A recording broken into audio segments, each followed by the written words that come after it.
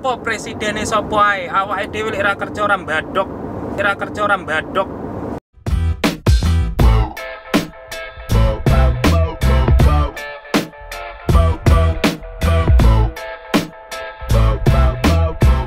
Assalamualaikum warahmatullahi wabarakatuh. Selamat siang. Jumpa lagi dengan saya di Sutik.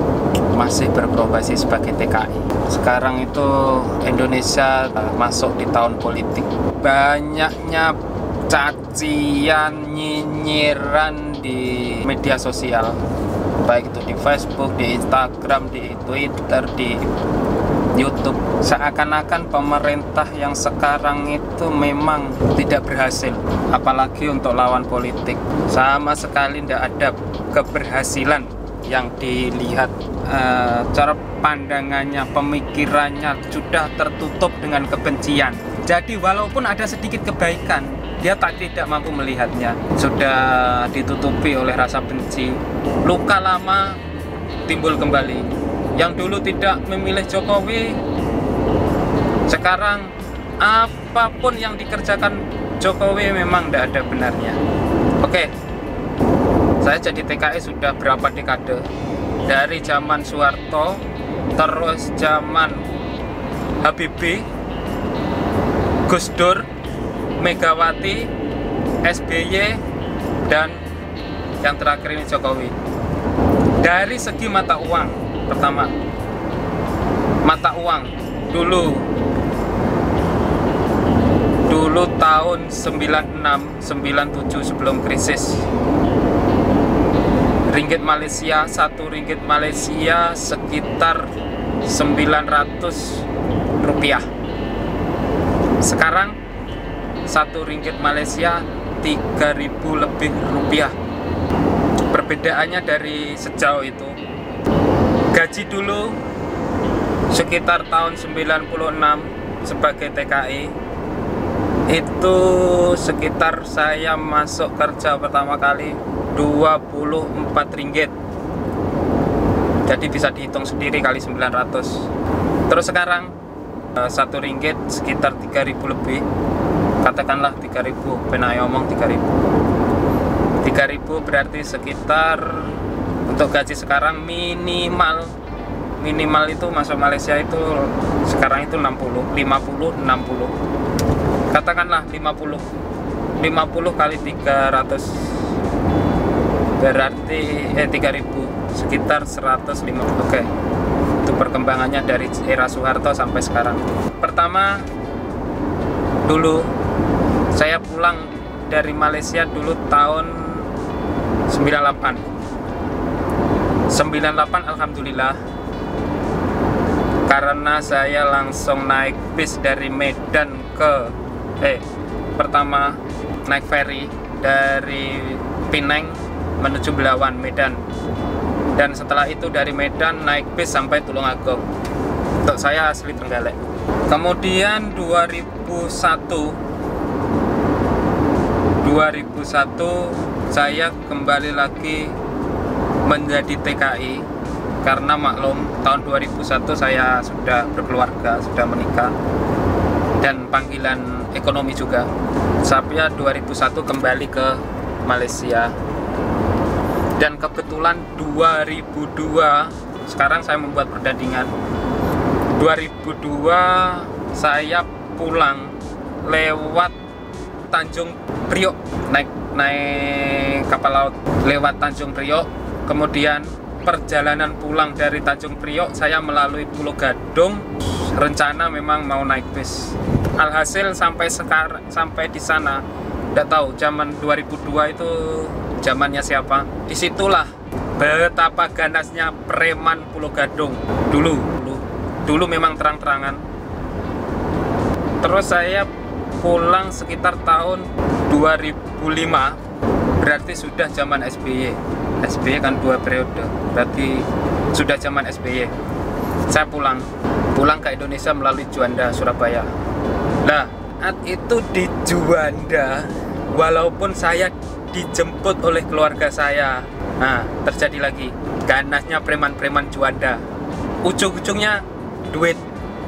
Insya Allah sekarang sudah di zaman Jokowi Insya Allah sudah tidak ada. Sekarang kita jadi TKI sekarang kita merasa aman. Contoh lagi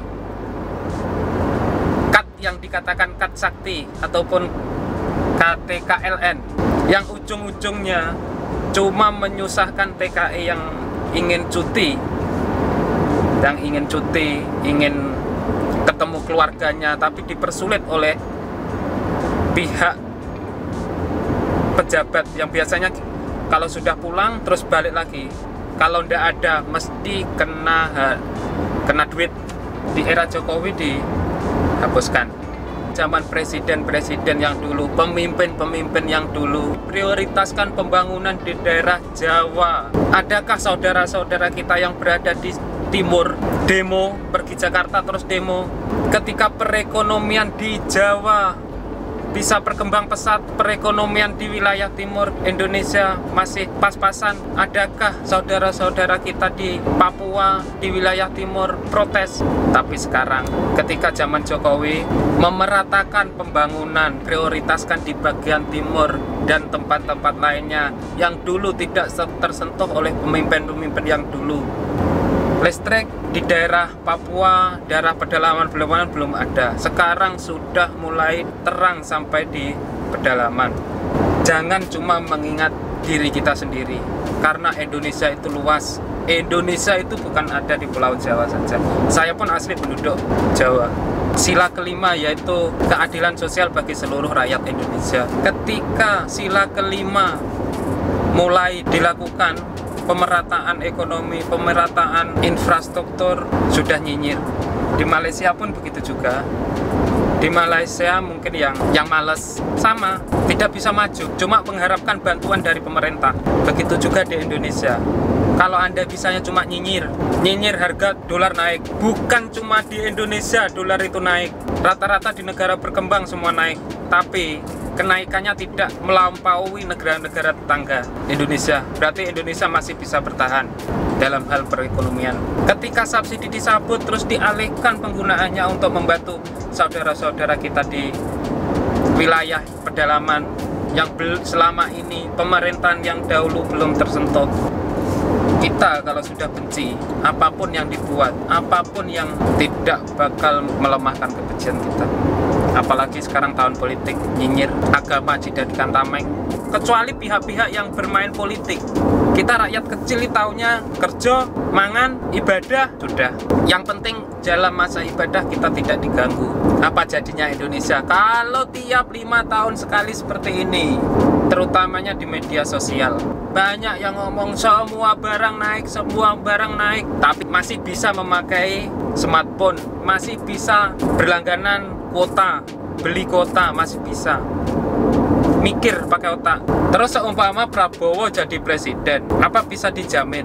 Indonesia lebih maju harga telur 10.000 dolar menjadi 3.000 rupiah dolar menjadi 3.000 sampai 4.000 rupiah sebelum seperti sebelum masa krisis terus apa yang pernah dibangun di era pemerintahan Jokowi misalkan jalan tol Anda tidak suka Jokowi anda pilih jalan lain, enggak kan pun tetap lewat jalan tol yang dikerjakan masa pemerintahan Jokowi.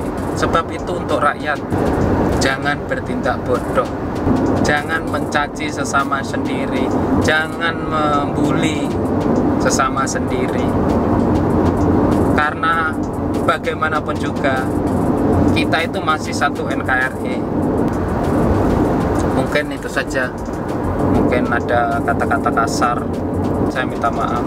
Karena saya yakin Indonesia pasti akan maju. Indonesia pasti akan terus berkembang menjadi sebuah negara yang maju. Biarlah anak cucu kita nanti yang merasakan. Saya optimis 2030 Indonesia menjadi lebih baik daripada yang sekarang bukan malah sebaliknya Indonesia bubar. Assalamualaikum warahmatullahi wabarakatuh